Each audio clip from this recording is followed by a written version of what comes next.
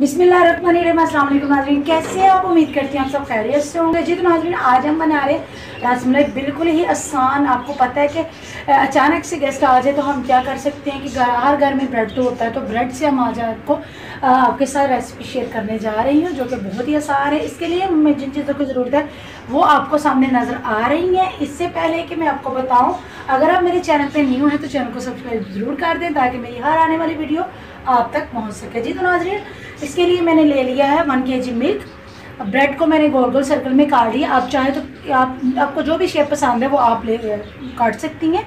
चीनी चाहिए बादाम चाहिए। आप पिस्ता भी यूज़ कर सकते हैं। पिस्ता किशमिश चाहिए नारियल चाहिए। कुछ मैंने नारियल क्रश किए हुए कुछ मैं सब्ज़ इलायची को मैंने पीस लिया है और इसको छिक्के में डालेंगे अगर आपको छिक्का पसंद है ठीक है। अगर नहीं तो आप इसको दा, इसके दाने ही यूज़ कर सकते हैं। जी तो नाजिन सबसे पहले हम क्या करेंगे? जी तो नाजिन स्टॉक को मैंने ऑन कर लिया है, सबसे पहले हम मिल्क को बॉइल करेंगे। मिल्क मैंने वन के जी लिया है, इसको हाफ़ के जी में चेंज करना है। अच्छे तरीके से इसको बॉइल करते जाना करते जाना जब तक दूसरा हिस्सा इसका रह ना जाए, तब तक हम इसको बॉइल करते रहना है। अब इसमें डालेंगे सब्ज, इलायची।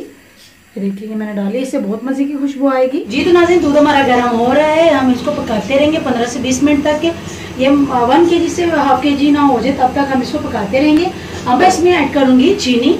ठीक है, ये मैंने चीनी डाली आप अपने टेस्ट के हिसाब से ज़्यादा ही कम यूज़ कर सकते। हैं तो अब हम इसको अच्छे तरीके से मिक्स कर लेंगे और पंद्रह मिनट मजीद इसका वेट करेंगे।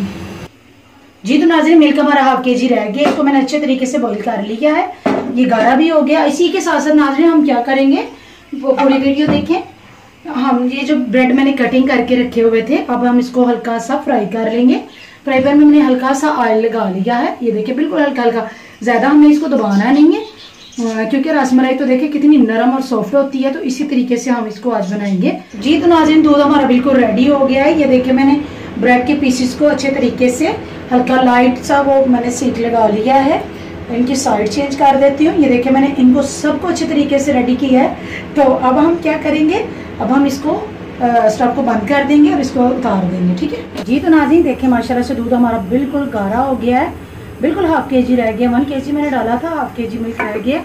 अब हम इसको ठंडा करके और इसमें डिश आउट नहीं करते हैं, ठीक है? मैं हमारी बिल्कुल तैयार है, दूध को मैंने ठंडा कर लिया है। ब्रेड को मैंने हल्का सा हीट किया था, गर्म कर लिया था। तो अब इसमें डालेंगे हम दूध, जो कि ये देखिए, माशाल्लाह से बहुत गाढ़ा है। आप भी ये याद रखिएगा, अगर वन के जी हो तो हाफ़ के जी रहना चाहिए, ठीक है? गार्निश करेंगे इसकी। गार्निश के लिए मैंने थोड़ी सी नारियल ली हुई है, ठीक है? मेवे ली है, अगर आपको पसंद है तो आप मेवे डाल सकते हैं। मेरे हस्बैंड को मेवे बहुत पसंद है, इसलिए मैं मेवे का ज़्यादा इस्तेमाल कर रही हूँ। थोड़े से मैंने बादाम ले लिए हैं, ठीक है? ये देखें माशाल्लाह से कितनी प्यारी लुक आ रही है। तो नारियल आप ऐसे भी डाल सकते हैं, और थोड़ी सी मैंने कटिंग भी की हुई है। ये देखें नाजरी खूबसूरती होती है, और एक जायका होना चाहिए हाथ में। बाकी तो जो होना है, वो तो होके रहना आता है। ठीक है, ये हमारी तैयार हो गई है रसमलाई। ये देखिए, माशाल्लाह से। अब हम ग्रीन कलर वाली तैयार करेंगे। ये देखिए नाजी मैंने ग्रीन कलर इसमें डाल लिया हुआ था। बिस्मिल्लाहिर्रहमानिर्रहीम, ये देखिए, माशाल्लाह से बहुत प्यारी लुक आ रही है। मिल्क वही है, आपने ये नहीं करना कि अलहदा से इसका मिल्क तैयार करना है। अभी गेस्ट आए तो आप फ़ौरन से ये बना के फ्रीज करके उनको दे सकते हैं। ये देखें माशाल्लाह से इसकी भी कितनी प्यारी लुक आ रही है। देखें ये देखें माशाल्लाह से बहुत ही नाइस है। अब हम इसको फ्रीज में रखेंगे। जी तो नाजरी माशाल्लाह से बहुत प्यारी लुक आ रही है। ज़रूर ट्राई कीजिएगा। बहुत ही मज़े की, बहुत ही आसान है। आपने सारी वीडियो फुल देखिएगा ताकि आपको आसानी से पता चल सके किस तरीके से बनती है। तो इसी के साथ नाजरीन, मैं आपसे इजाज़त चाहती हूँ। अपना बहुत सारा ख्याल रखिएगा, दुआ में याद रखिएगा। ओके, अल्लाह हाफिज़।